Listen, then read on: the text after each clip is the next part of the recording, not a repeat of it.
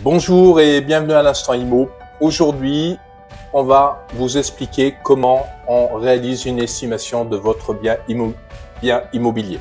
Hormis la connaissance du secteur, chez Capifrance, nous utilisons un outil qui s'appelle Précisio, un des outils les plus précis du marché. Cet outil se base sur six items avec une analyse de plus de 100 critères.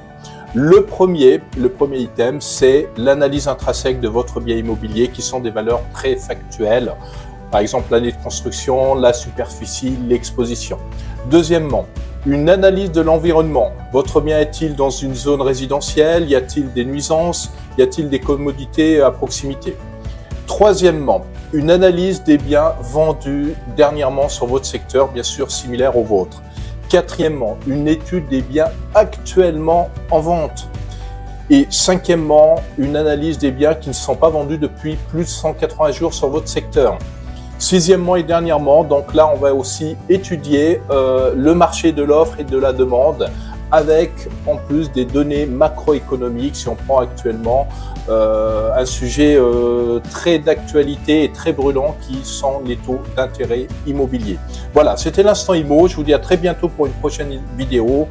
je vous laisse me contacter pour un accompagnement personnalisé aussi bien que de vente euh, que d'acquisition de votre futur bien immobilier. Bye.